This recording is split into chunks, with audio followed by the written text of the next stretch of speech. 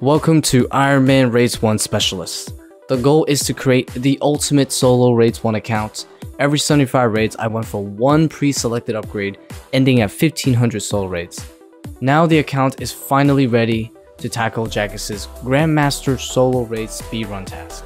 Finish a solo raid in under 17 minutes. Enjoy the final episode. We are finally back on the Solo Raids 1 Specialist series for the final episode. So let's recap a little bit since it's been about a month since the last episode. So let's talk about PBs. We did go for a PB attempt somewhat recently before I got the Sang and we managed to finally get under 18 minutes 1757 and the final upgrade we got recently was the Sang Staff this was actually a surprise upgrade because I decided to go for an additional drop just because I felt lucky, which I wasn't lucky. It took me four times the drop rate.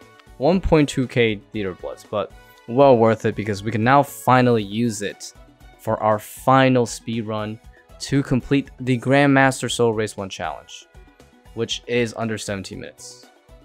We have over a minute to beat, but there are some complications though and some exciting things to make them better. So the complication is the blowpipe got nerfed while I was away, and it's a lot worse than it used to be. So that's gonna really slow down my times using the blowpipe. And it's a pretty essential part of raiding, especially at like Vasa and stuff. Now, however, there is a good thing that came out recently, which was the thralls. On the last video, I did talk about the thralls. I did use it at chambers and it has really good results. So hopefully the thralls will help me counteract the blowpipe nerf. There's a few things I must do before I actually can go for the Grandmaster Solo raids time. And that is to really size up the blowpipe, see how it works, so I can incorporate a slightly modified setup to go for the speedrun because I think I will need to bring some new gear to compensate such as the Twisted Buckler for example because the crossbows are now slightly better, and having that might be a necessary thing. Before I get into the speedrunning portion, I just want to quickly talk about the challenge world raids. I did try out some challenge world raids because Vasa got nerfed, and a lot of people are wondering how good is Vasa now if you don't have a T-bow at challenge modes. And it went pretty well. I just used blowpipe of course, but this was before the nerf and it just destroyed Vasa. I could kill it before the second teleport hit me in challenge mode, which is unheard of before. So they drastically reduced Vasa and challenge rates, making it quite viable without a T-bow. Damn, this is insane. I killed the third Vasa. I killed it without getting teleported. Look at my food. This is awesome, dude. Look at this. There we go. I made some amethyst darts on the Huan Boy. I think 500 should be good enough for some normal raids. Before I go for the Grandmaster task for the solo raids, I am going to warm up and just complete a few raids. So I do have around 20 or so raids left before I hit the 1500 raids solo. And during that time, I'm to do some raids so I can practice and get used to the new blowpipe, just warm up in general.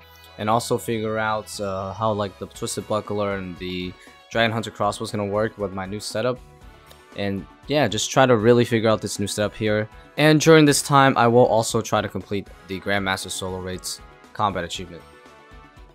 Disclaimer, I will not be talking about the new bow because I unfortunately do not have time to go for this item and it's a bit too late for this format to really be going for new items. So I will just say though, the new bow is really good at Vasa and Skeletons. But yes, I don't have one and I don't have to grind it, so it's going to be the test between the Blowpipe and the Dragon Hunter crossbow.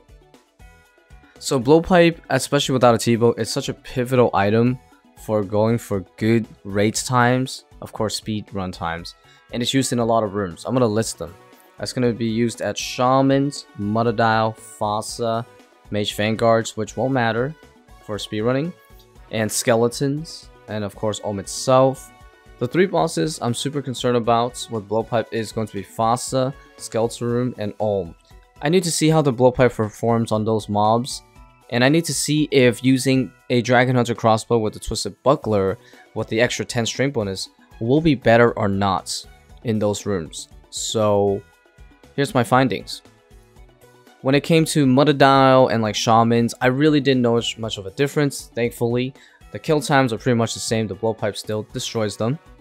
For Skeleton Room, the blowpipe really suffered. I was just hitting an insane amount of zeros. I think the time range to clear the rooms was anywhere from two and a half minutes to around three minutes and change.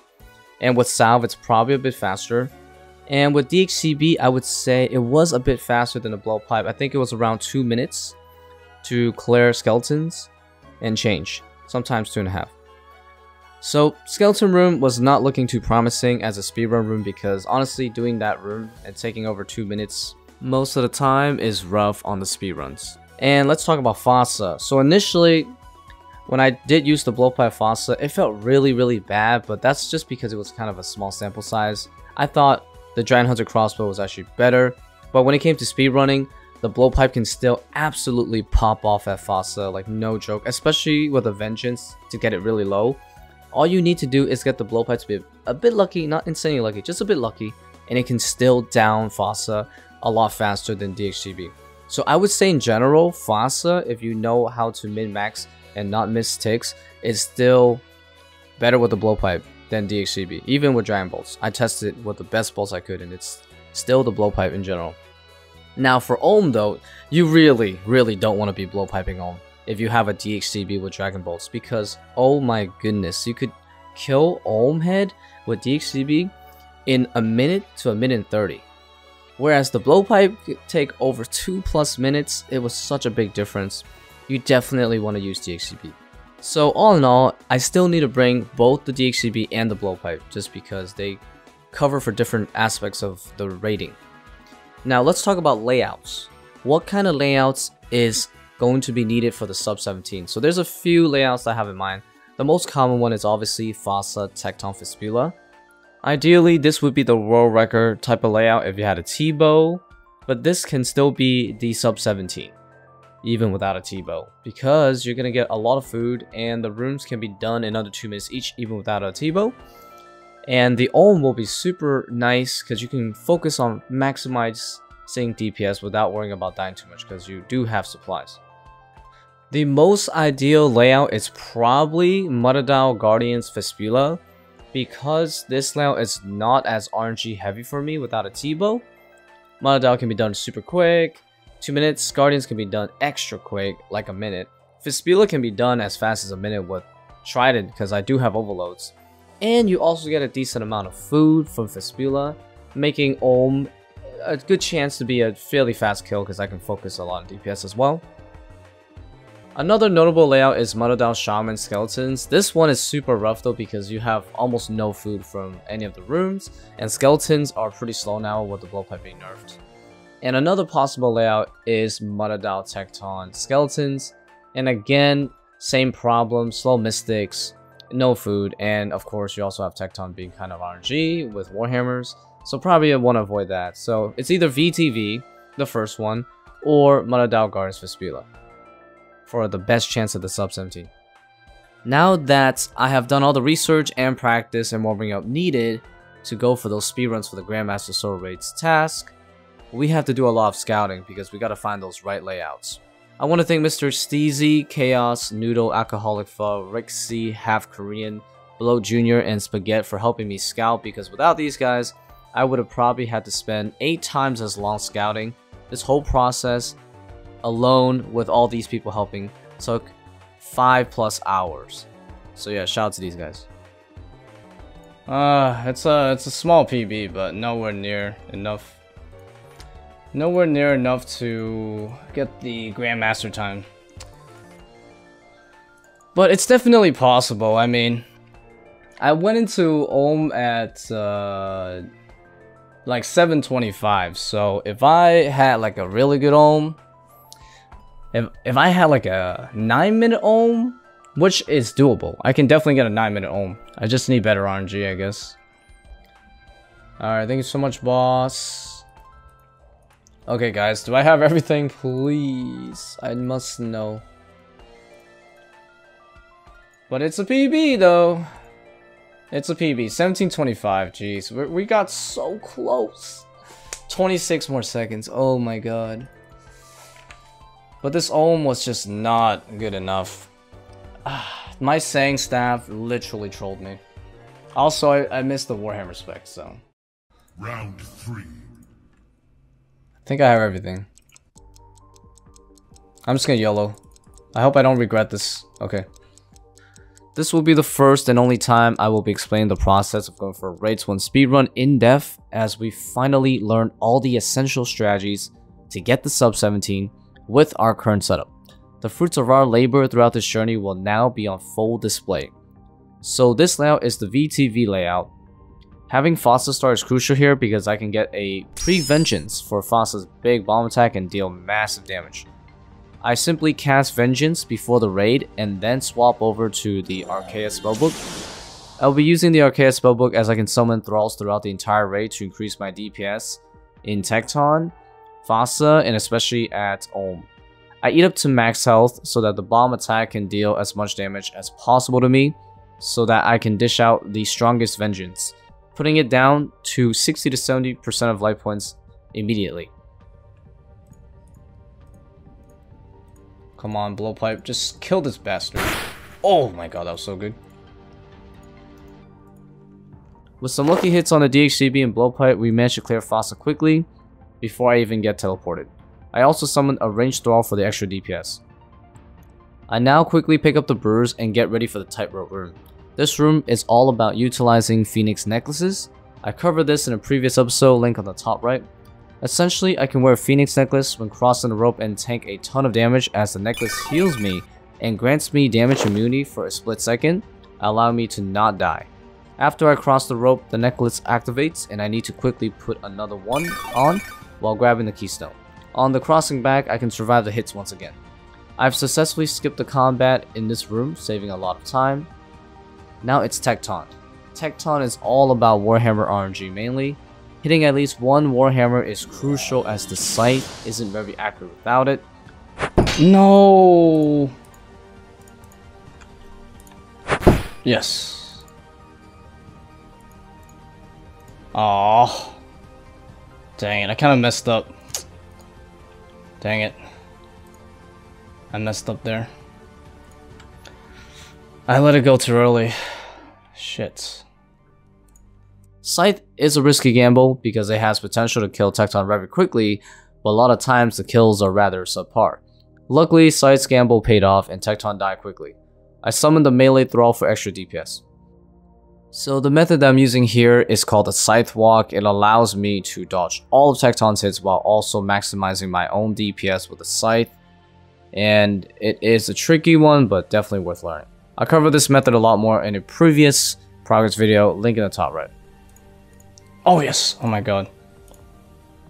That's so good.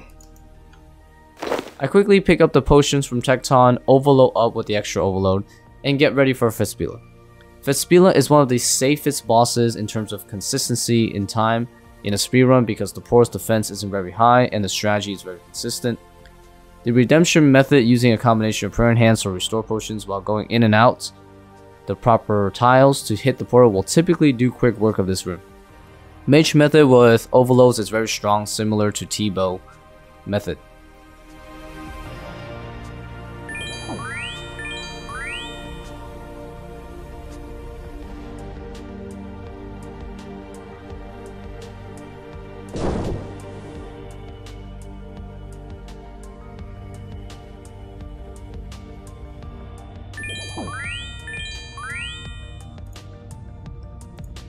Damn, I need a hit.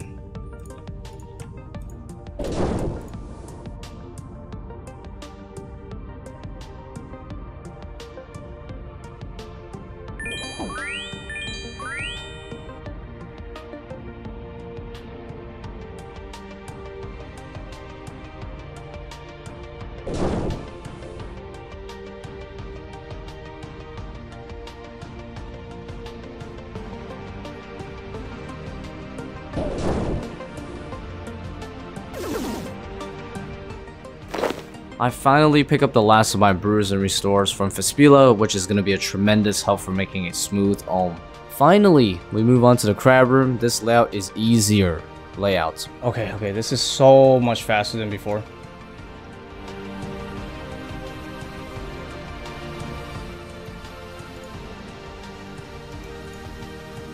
Oh, dang it.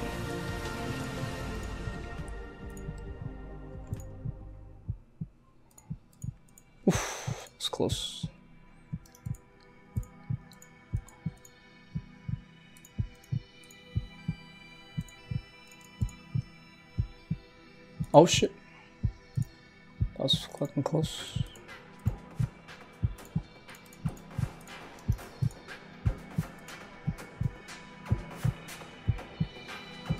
Oh no. Oh. Okay.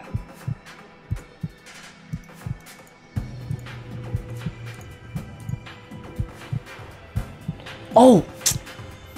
Damn it!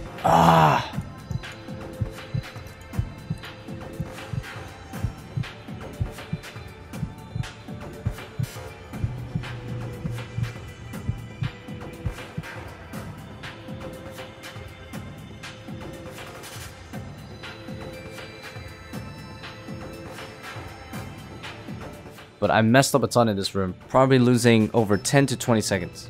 By far the worst room performance out of every room this time. Not much to say here, just not letting the light bounce needlessly is key. Uh, honestly, I'm not even gonna uh, energy recharge. I don't care. I have enough stamps. I'm just gonna go right in. We're going right freaking in.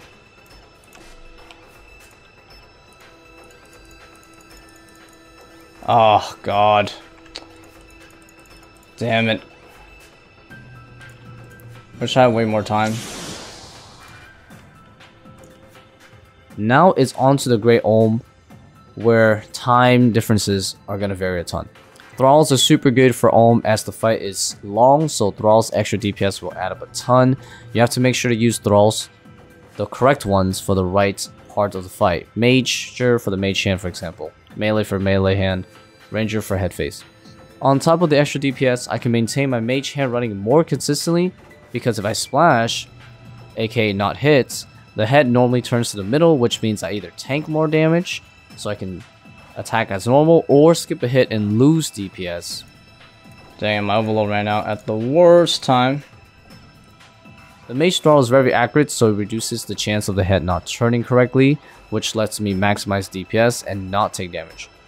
Beyond that, each hand phase, I want to land ideally one Warhammer spec to speed up the melee hands. That's where I'll save a lot of time without having to worry about my mechanics being good or not.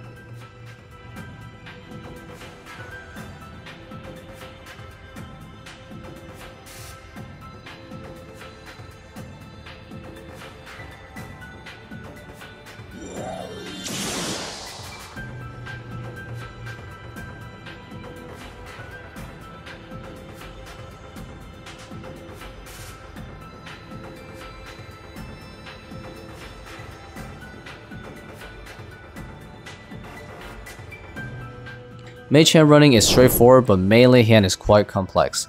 I typically use the lance for the first two hand phases using the 4-1 strategy, if it's flame or poison phase, as it is safer dealing with the poison trails or firewalls. Sometimes I do the 7-3 method for more DPS on those two phases using the lance and scythe together. No. Why you gotta burn me? If I know a firewall poison trail isn't happening soon, I can then use the 4 hits with scythe and 3 hits with the lance method.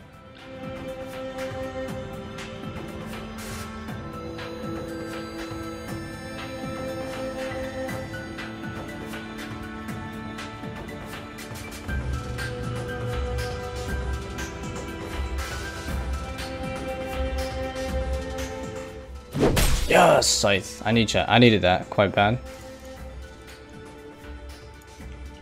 229. God damn it, dude. ah, so slow. That sucks.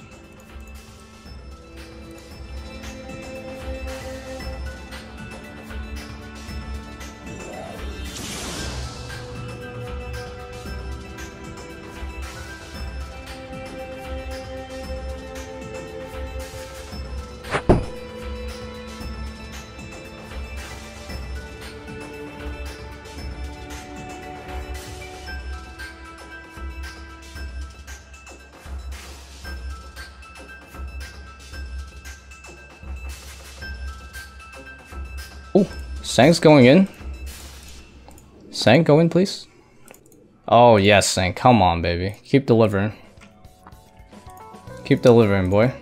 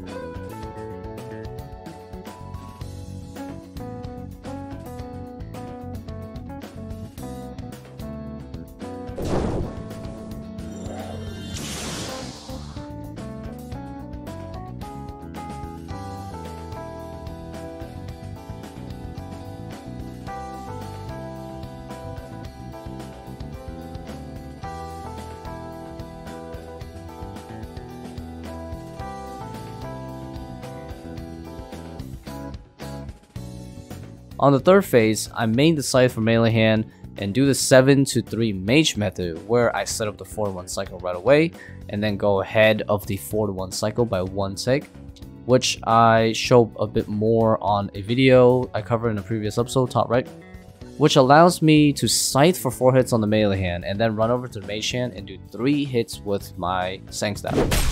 This allows me to skip specials as well and lets me scythe the melee hand completely Scythe DPS is a lot better than Lance, especially with Warhammer's landing, which it did in this case, so you can see how insane it is.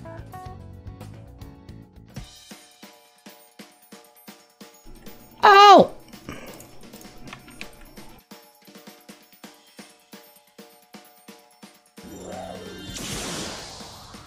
Yes! That's huge. That is so huge. Let's go!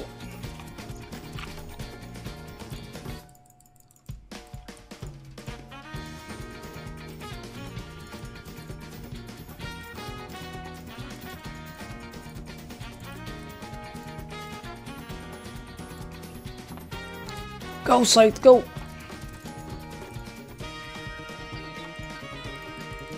Yes, Scythe, yes!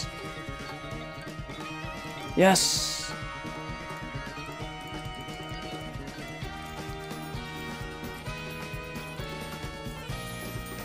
Oh, I just lagged.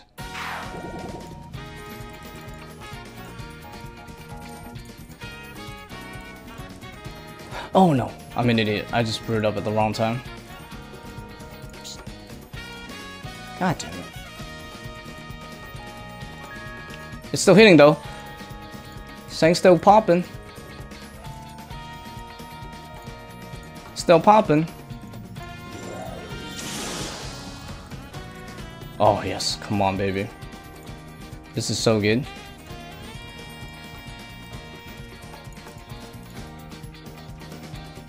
The third phase was amazing as Scythe just destroyed the melee hand, whereas the first two phases were okay. I managed to clear that third phase in under 2 minutes, so that's super good. Head phase is simple, I just simply go for 3 crossbow hits running from side to side and take 1 hit for Olm. DHCB with Buckler did great despite no Ruby RNG, I am honestly surprised not a single Ruby rock happened here. Head phase was still very quick though, and the rocks were also being very friendly and the hits were just very high. This Olm fight turned out to be super fast,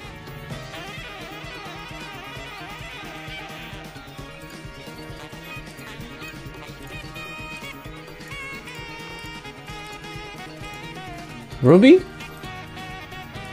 Ruby?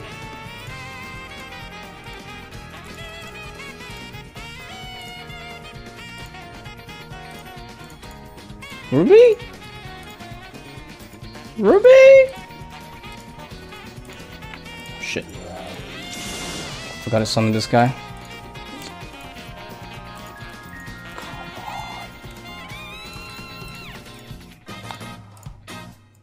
hit, please.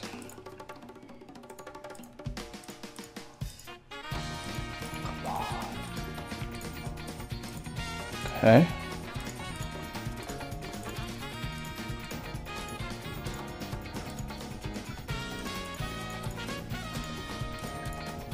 Dude, not a single ruby.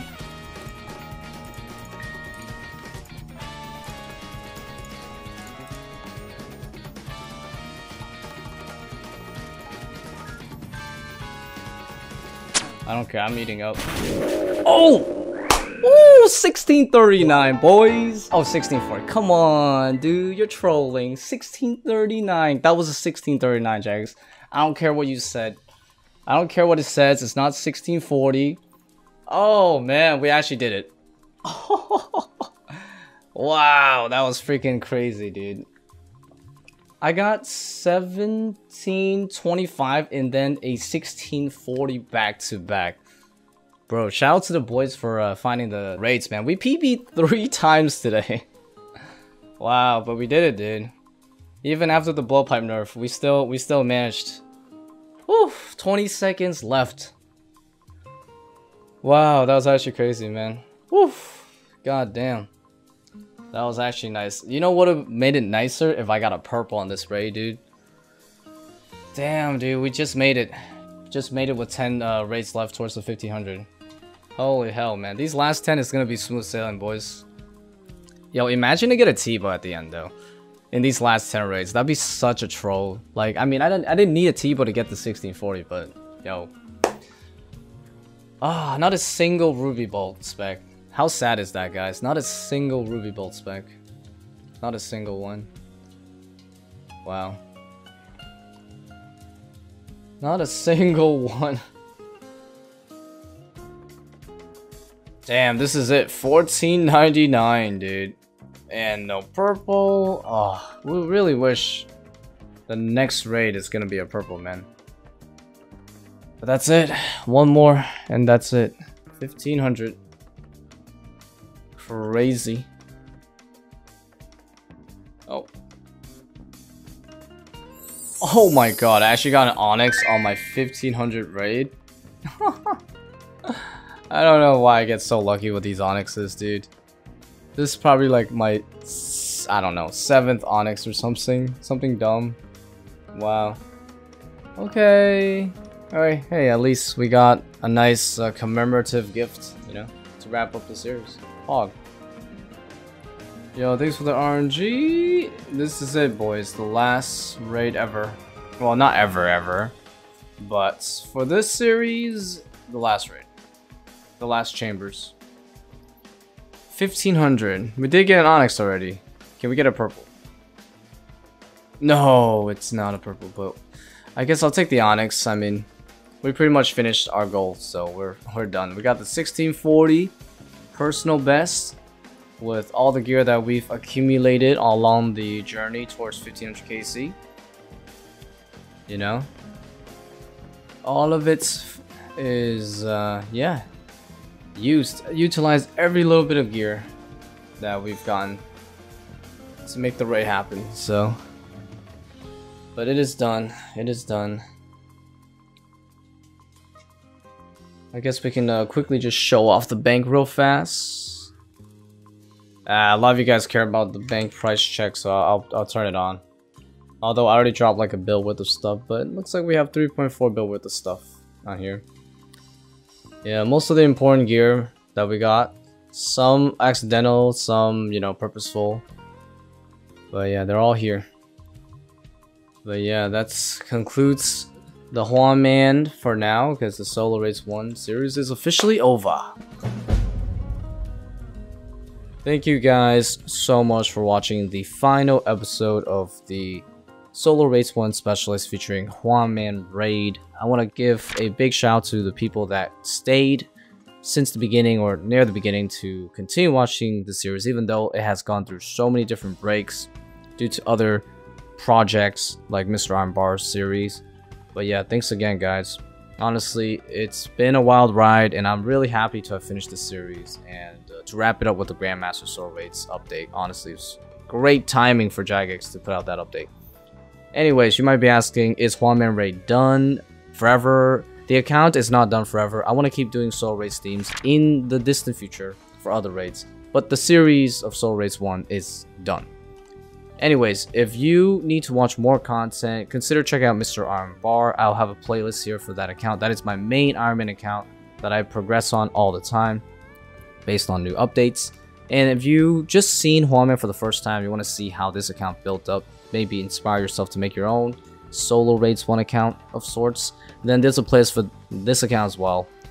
If you want to see more videos in general, definitely consider subscribing to the channel because I'm very active. I upload once a week. And also, like the video if you really enjoyed it. It took me a lot of effort to finally make this video. So, anyways, thank you guys so much. I will see you guys very soon. Bye bye.